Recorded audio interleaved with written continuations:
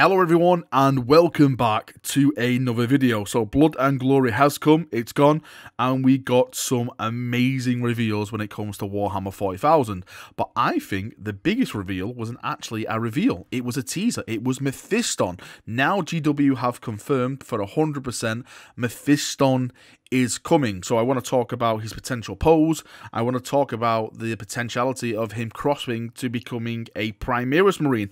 I personally think that um, well, 99.9% convinced that Mephiston will be become a Primaris Marine, but there's people out there that say no, he won't be. He'll just be staying as what he is now, just an updated model. So um, we can explore that and talk about it. So let's jump in and let's get started. So let's start with Mephiston's pose. What is the potential pose of Mephiston? Now, as soon as the trailer, well, teaser trailer went live the other day, um, on my Discord, I was pinged about this. I've saw it in many places as well. Another place I've saw it is Bolter and Chainsword.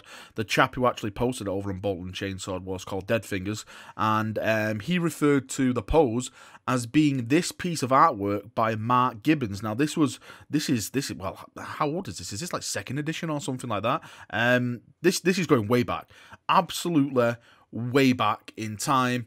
And if you compare this piece of artwork to some of the stuff that we saw actually in the trailer, then I think that this artwork, this piece of artwork, will indeed be the pose of the upcoming Mephiston model. Everything goes with it, like the way his sword's angled, the little vials on his string, the way his um his cape's blowing in the wind. Um, if we stop it and you can see like his face, you can actually see Mephiston's face in the trailer. It's shown briefly just for a second. It like flashes on and flashes back off, but you do see it, and you can kind of see his hand next to his mouth, like can trying to like wipe his face and stuff like that. So yeah, I definitely think that this piece of artwork by Mark Gibbons is what the 3D artist or the model maker has um, based Mephiston off. Now, um, for me, I love it. I think I think it's a great piece of artwork. I think it'll be a great pose. I've seen that some people say that mm, they're not too keen on this piece of artwork. They would have preferred a more in kind of like a rage kind of battle pose.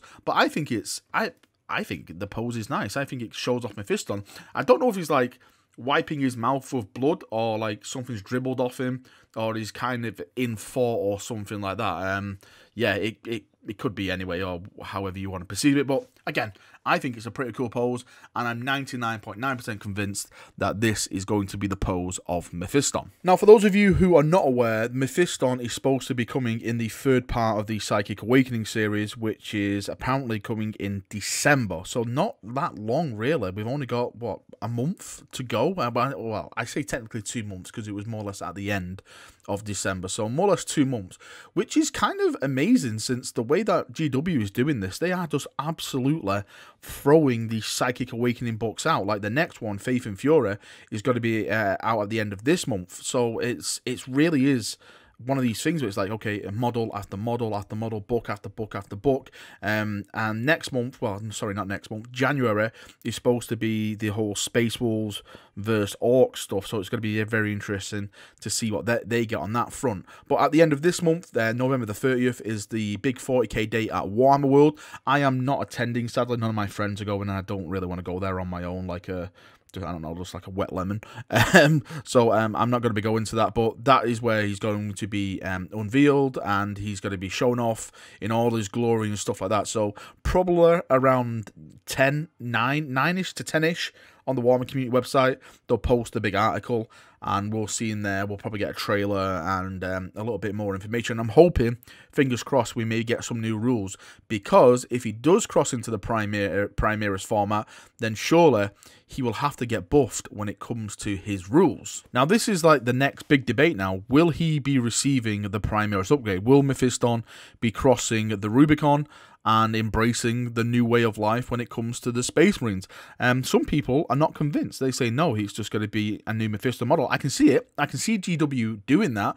But logically and business wise, and whatever we've seen in the past from GW themselves, is more or less stating that everything futuristic for the Space Marines as a whole is Primaris. Calgar is now Primaris. You've got Tor Garadon. You've got you know the White Scar guy. Um, you've got um, you know um, Adrax. You know all these big characters that are part of the uh, firstborn Space Marines are stepping over the threshold and they're all becoming Primaris Rubicon. So it only makes sense business wise and logically wise that GW will keep this going with big characters like Mephiston and hopefully fingers crossed Dante whenever he gets a bloody brand new model. He's he's he's the next model that deserves something, but again, this that's not it's not dedicated to him. So I personally think that Mephiston will be getting the Primaris format, and I think he will be crossing the Rubicon, and we'll see a whole different, well, I say different side, but a whole different stat side to the Mephiston model. We all know that Primaris um, go up in wound counts and stuff like that. They are made to be, you know, bigger, better, faster, uh, stronger. Um, I know people dislike that. I know people dislike the lore of them coming around, but the Black Library authors are doing um, um a pretty great job of um, making the lore a, a, a bit more um, edible, let's say, for a lot of people. You know, they are fleshing them out. It is taking a little bit of time, but I am enjoying the process. There's been some great books uh, recently.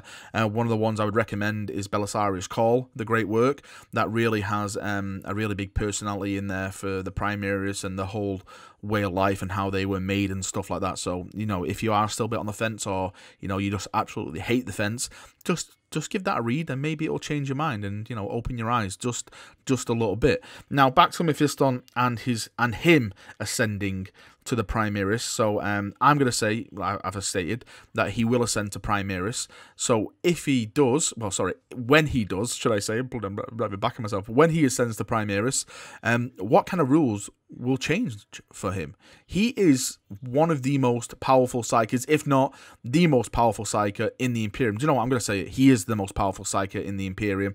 I know a lot of people say um, uh, uh, for the um, Ultramarines is up there, but Mephiston is on a whole different level. He looked deaf in the face, and he became deaf. That is how much of a badass this guy is. His psychic powers are just, um, I would say, the kind of like sanguine. Well, not he can't really be Primarch level S, but you know what I mean.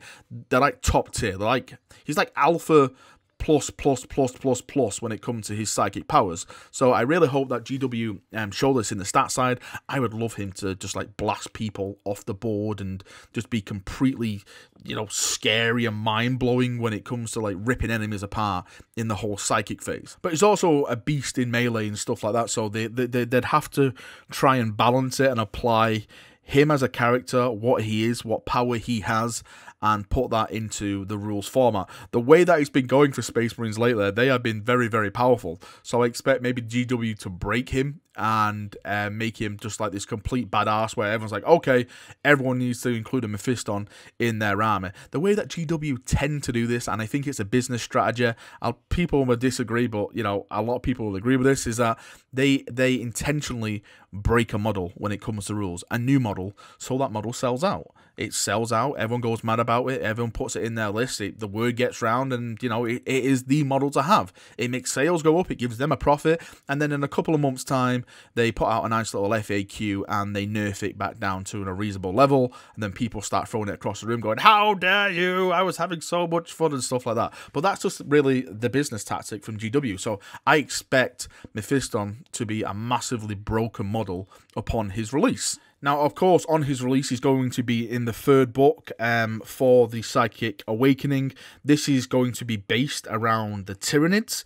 Now, the only thing that pops into my mind straight away is the Devastation of Baal. Mephiston did play a key part in there. I won't really go in and spoil it, but he it, it wasn't really with the Tyranids. It was more or less with demons. But um, again, it's too much spoiler, so I don't really want to go down that path. So I'm wondering um, if that'll be mentioned at all in this whole Psych Awakening book, if if if, if that'll play into some of his abilities, um, but we, we shall see. We, I, I think I think we're going to get more information on that book and everything around that book more or less around the time of the open day on the 30th. Hopefully they'll have that on display. Maybe they'll even talk about it a little bit, show off some rules and all that kind of stuff, and maybe go into depth what the actual book is about. Because again, I'm just saying Tyranids because it makes sense, and the, the rumors have all stated that it's going to be Tyranids.